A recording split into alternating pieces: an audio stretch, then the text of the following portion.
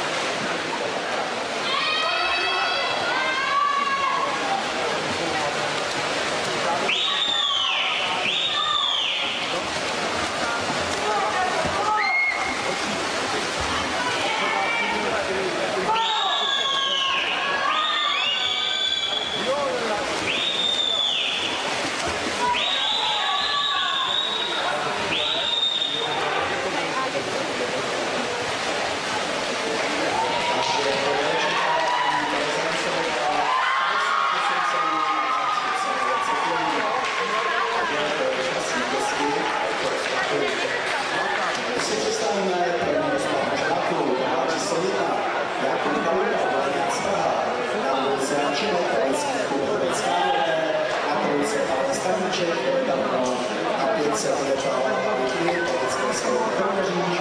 pětku obsadí Lukáš Vlak, z Kopřinic a na šestku nasadíme